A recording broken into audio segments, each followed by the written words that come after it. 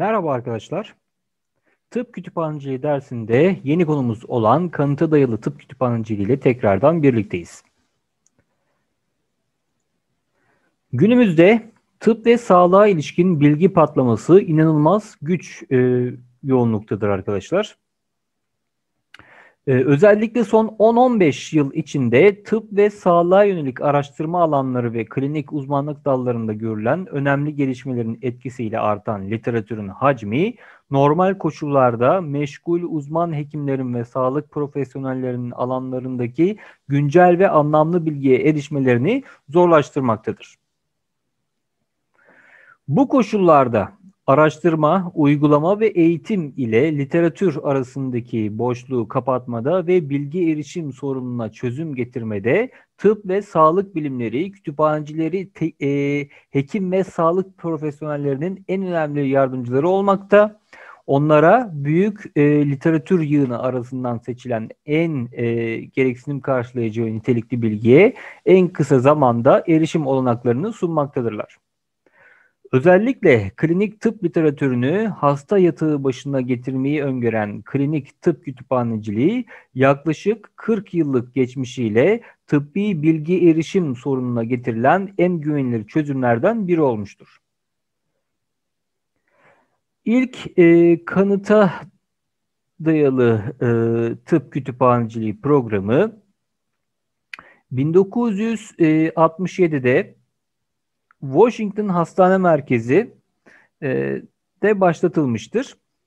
E, KTK kavramının ilk kez 1971'de Amerika'da e, Gertrude Lamb tarafından tanımlandığı kabul edilmektedir. Getirdiği tanımlamalar doğrultusunda Lamb, Kansas City'deki Missouri University e, Tıp Fakültesi Hastanesi'nde kütüphanecilerin hasta vizitelerine katılmasıyla KTK'nın ilk ve asıl programını gerçekleştirmiştir. Lemb'e göre KTK, klinik uygulamalarıyla tıp literatürünü birleştirmeyi, klinik sorunlarına literatürden seçilmiş örneklerle çözüm getirmeyi amaçlayan bir kütüphanecilik dalıdır. KTK, kliniğe yönelik karar vermeyi desteklemek üzere hekim ve diğer sağlık profesyonellerine kalite yönünden e, süzülmüş hastalık vakasına özgü bilgiyi sağlamayı amaçlayan bir kütüphanecilik uygulamasıdır. Bu uygulama konuya yönelik bilgiyi sun, e, sunmadan çok e, kullanıcıya yönelik bilgiyi sunma temel anlayışına odaklanmalıdır. Bugün KTK kliniğe ilişkin bir soruya yanıt vermek üzere anlamlı kimliklerden oluşan bir literatür listesini kimliklere ait özet veya tam metinleri sağlamanın ötesinde bir hizmet anlayışına odaklanma eğilimindedir. Vakaya ilişkin anlamlı literatürü en kısa zamanda belirleyip bulduktan sonra en gereksinme giderici anlamlı bilgiyi metin içinden bulup çıkarmak üzere onu okuma ve analiz etme eylemine girişirler ve bulgularını özetleyerek ilgili ekip üyelerine vizite esnasında veya hasta konferanslarında sunarlar. Şimdi klinik tıp kütüphaneciliği programları ve uygulama örneklerine bakacağız. Hastaya yönelik bilgiyi literatür taraması yaparak hızla sağlamak üzere temelde kamuya, özel sektöre veya akademik tıp ve sağlık kuruluşlarına bağlı hastanelerde ve çeşitli tıbbi araştırma ortamlarında var olan koşul ve gereksinmeler doğrultusunda farklı KTK programları uygulanmaktadır. Bunlar hasta vizitelerine katılma, LEÇ, vaka sunumu toplantılarına katılma ve bilgi istenmeden sunma şeklinde e, verilebilir. Hasta vizitelerine katılmayla başlayalım. Hasta vizitesi temelde hekimlerin içinde yer aldığı bir sağlık bakımı ekibinin yatan hastaların durumlarını değerlendirmek üzere hastane koğuş veya kliniklerine yaptıkları ziyareti ifade eder. KTK'nın önde gelen amacı kütüphaneleri klinik ekiplerine katmak ve hasta vizitelerinde yer almalarını sağlamaktır. KTK kütüphanecinin hekim, hemşire, diyetisyen, eczacı, sosyal hizmet uzmanı, psikolog ve tıp öğrencilerinden oluşan sağlık bakımı ekibinin bir üyesi olarak hasta vizitelerine katılması, hastanın durumunun yatak başında değerlendirilmesi sırasında ekiptekilerin sorularını saptaması, soruları yanıtlayacak literatürü bulmak üzere kütüphanede tarama yapması, eriştiği kimlikleri, bunlara ait özetleri veya tam metinleri genellikle en çok 24 saat içinde iletmesi esasına dayanan bir uygulamadır. Bu uygulamanın etkinliği çoğunlukla kurumun tıp ve sağlık bilimleri kütüphanesinin kendi koşullarına göre e, sağlayabildiği kütüphaneci sayısına ve kütüphanecilerin kaliteli bilgi e, eriştirebilme yeteneklerine göre belirlenir. Kütüphaneciler genellikle kütüphanedeki işlerine ek olarak e, KTK hizmetinde verirler. Kansas City'deki Missouri University Tıp Fakültesi Hastanesi'ndeki e, KTK uygulamasına şöyle bir baktığımızda e, tıp danışma kütüphanecilerinin vizitelere katılmasıyla 1971'de Amerikan Ulusal Tıp Kütüphanesi National Library of Medicine'dan alınan para desteği ile UMKC Tıp e, Fakültesi Hastanesi'nde başlatılan program vizitelere dayalı programların ilkidir. UMKC adıyla tanınan program, KTK hizmetini ilk tanımlayan ve uygulayan Lamb'in eseridir. Başlangıç yıllarında 3 klinik kütüphanecisinin her biri 3 ayrı doçent ekibinin birer üyesi olmuşlardır. UMKC Sağlık Bilimleri Kütüphanesi'nin doçent ekiplerine bilgi desteği sağlayan klinik kütüphanecileri bugün hala faaliyettedir. E, Vanderbilt e, Üniversitesi Tıp Merkezi Hastanesi'ndeki KTK uygulamasına baktığımızda e, Tennessee Nashville'daki Vanderbilt University Tıp Merkezi e, deki e, Eskint Biotıp Kütüphanesi'nin 1996'da başlattığı KTK programı da dünyanın en gelişmiş örneklerinden biridir.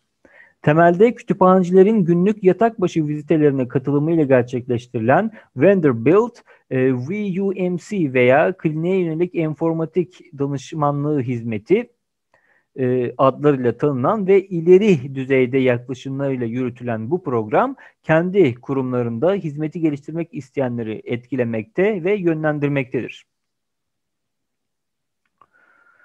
Program kütüphanecilerin gerçek anlamda klinik ekipleriyle bütünleşmesini öngörürken yüksek kalitede bir sağlık bakımının sağlanabilmesi için onların eğitilmesine de önem vermektedir. Kütüphanecilerin klinik bilgilerini vizitelerde iyi, iyi, e, iyi iletişim kurma, e, verimli taramalar yapma, erişilen literatürü yorumlama gibi becerilerin geliştirmeleri için verilen eğitim programın kilometre taşlarından biridir. Eskint Biyotıp Kütüphanesi'nin hasta bakımı ve araştırmaya yönelik doğru ve özel bir hizmeti gereksinme duyulduğu anda vermek, zamanda gerçekleştirilen girişimlerle başta hekimlerin bilgisini arttırmak, kütüphanecinin bilgi erişimindeki rolünü güçlendirmek gibi amaçlarına ulaşmasında hasta viziteleri ideal ortamlar olmuşlardır. Leç'e geçtiğimizde hasta dosyasına iliştirilmiş literatür anlamına gelen Leç, 1967'de Washington Hastane Merkezi'ndeki KTK hizmetlerinin öncüsü olarak ortaya çıkmıştır. Bu hastanede 1967-1975 arasındaki LEÇ uygulamasını kaleme alan Sowell'a göre LEÇ e, bir hastanın hastalığının bazı yönleriyle ilgili birkaç iyi makalenin o hastayla ilgilenen herhangi bir sağlık e, bakımı personelinin isteği üzerine hastanın dosyasına iliştirildiği bir uygulamadır. Genellikle önce hekim veya diğerleri hastayla ilgili literatür isteklerini yazarak onun dosyasına koymakta. Bu istekler sonradan bir birim görevlisi tarafından kütüphaneye iletilmektedir. Geçiyoruz vaka sunumu toplantılarına katılmaya.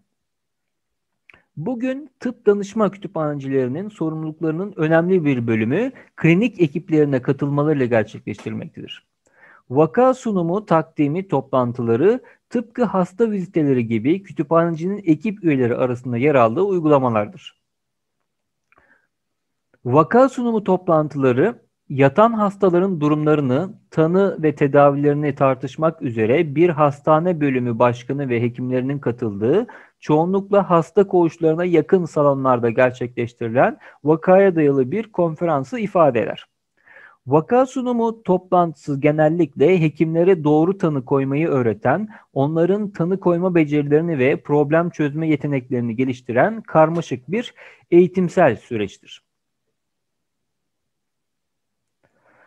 Kanada Ontario'daki McMaster Üniversitesi Tıp Merkezi Hastanesi uygulamasına baktığımızda bu hastanede gastroenteroloji programı kapsamında 1975'te başlatılan bir KTK projesi yalnızca hekimlerin ve diğer sağlık profesyonellerinin oluşturduğu ekiplerin değil, yatan hastaların ve yakınlarının da en güncel literatüre erişerek bilgilendirmelerini amaçlamıştır. Ekip ruhuna, hastaların ve yakınlarının bilgilenme hakkına önem veren gastroenteroloji bölümü, e, ekibinde tıp merkezi kütüphanesinden bir kütüphanecinin yarı zamanlı olarak yer alması önerisinde bulunmuştur. Kütüphaneci bütün vakaların tartışıldığı toplantılara haftada bir katılmış, belli bir vakaya ilişkin bilgi gereksinmelerini belirlemiş, toplantıları izleyen vizitelerde de belirlemelerini sürdürmüştür.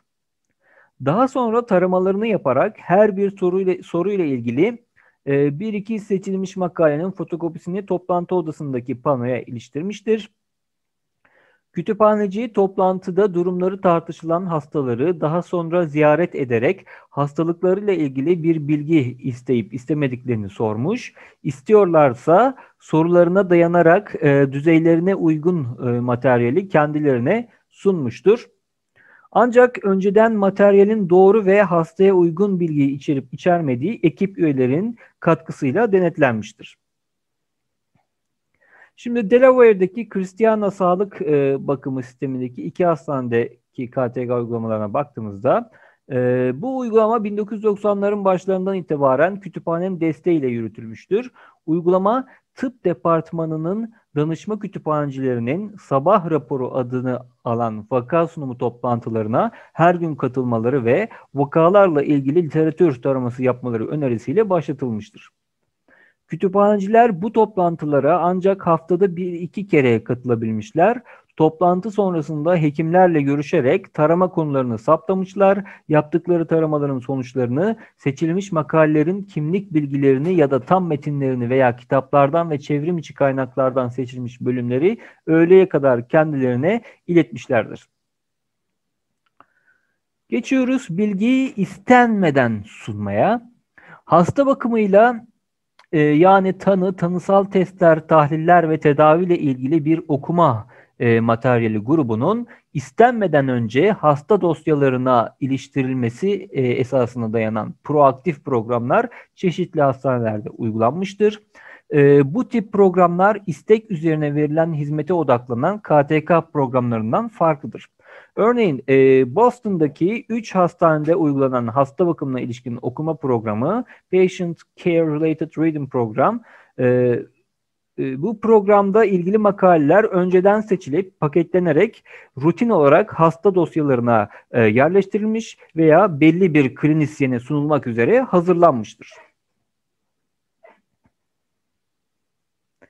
Her bir paketin önceden seçilmiş e, bir konudaki makaleleri içermesine dayandırılan bu programın amacı literatürü güncel vakalarla ilişkilendirmek, literatürün hekimler tarafından kullanımı üzerinde çalışmak, okunan literatürün e, hasta bakımındaki doğrudan etkilerini belgelendirerek kanıtlamak olmuştur. Çeşitli yaklaşımlarla gerçekleştirilen KTK programlarının temel ve ortak amacının tıp ve sağlık bilimleri kütüphaneciliği hizmetlerini özellikle kütüphanecinin literatür taraması uzmanlığını gereksinim duyulan hasta bakımı ve araştırma ortamlarına taşımak, böylece karar verme, araştırma ve eğitimi desteklemek olduğu görülmektedir. Geçiyoruz klinik tıp kütüphaneciliği hizmetlerinin avantajlarına. Özellikle klinis, klinisyenlerin zamanda bilgilenmesini sağlayan KTK hizmeti onların hastanın tedavisine yönelik isabetli kararlar vermelerini etkileyerek hasta sağlığına dolaylı bir katkıda bulunur. KTK katma değerli yaklaşımlarıyla ilgili literatüre erişime, literatürü analizleyip sentezlemeye vakti olmayan e, meşgul hekimlere, sağlık ekiminin diğer üyelerine ve araştırmacılara büyük bir zaman tasarrufu sağlar. KTK hizmeti kanı koyma, tanı koyma, e, tanısal e, testlerin, tahlillerin seçimi ve tedavi şeklini belirlemeyi içeren hasta bakımı hakkındaki hekim düşüncelerini etkilemiş, hasta bakımını geliştirmiştir. Hizmet ilaç seçiminde etkili olmuş, anlamlı bilginin çabuk bulunmasını sağladığı için gereksiz testler, tahliller e, zamanda engellenebilmiştir. Yeni veya bilinmeyen bilginin hekimlerin e, kendilerini güncelleştirmelerinde, öğrenmelerinde ve kararlarını değiştirmelerinde etkisi görülmüştür. Hekimler arasında bilgi paylaşımını hızlandırmış, isabetli ortak kararların alınmasını sağlayabilmiştir. KTK hizmetlerinin enfeksiyonu hatta ölümü engellediği hastaya tavsiyelerde etkili olduğu belirlenmiştir. Kütüphane kullanımına, bilgi okur yazarlığı becerilerini geliştirmeye, bibliografik veri tabanlarından etkin bir şekilde yararlanmaya yönelik eğitim programlarına katılımlarını artırmış ve e, bilgi arama davranışlarını olumlu yönde etkilemiştir. Hizmet yalnızca hasta bakımı için değil, vaka sunumu, öğretim, yönetim, araştırma ve yayın etkinlikleri için hekim ve diğerlerinin gereksinim duydukları bilgiyi elde etmelerini kolaylaştırmıştır. Tıp ve sağlık alanları öğrencilerinin eğitim süreçlerine olumlu katkılar getirmiş, onları hasta bakımına ilişkin yardımcı eğitime özendirmeyi sağlamıştır. Ee, ve hastanın hastanede yatış süresini kısaltarak masraflarını azalttığı saptanmıştır. Şimdi bir de klinik tıp kütüphaneciliği hizmetlerinin dezavantajlarına bakalım. KTK hizmetinin maliyetin e, maliyeti yüksektir önce. Hizmet için genellikle ek ödenek sağlanmayabilmektedir. Hizmet tıp ve sağlık bilimleri kütüphanesine fazlasıyla bağlıdır ve kütüphanenin bütçe kısıtlamalarından etkilenebilmektedir. Kütüphanedeki danışma hizmetinin etkinliğini azaltabilmektedir. Bazı kütüphaneciler tarafından iş e, benimsenmemekte, ek personeli gerektirecek kadar fazla iş yükü ortaya çıkmaktadır. Kütüphanecinin sağlık ekibinin bir üyesi olarak her zaman e, kütüphaneci sağlık ekibinin bir üyesi olarak her zaman benimsenmemektedir. E, kütüphanecinin e, iyice eğitilmeden KTK programına katılması yine bir dezavantajdır. Kütüphanecinin tıbbi terminoloji bilgisinin yeterliliğinin sorgulanması, e, hekimlerin bilgi yardımı istemedeki kararsızlıkları ve hizmetin hastanenin bütün bölümlerine verilememesi gibi e, dezavantajlar e, daha da e, çoğaltılabilir arkadaşlar.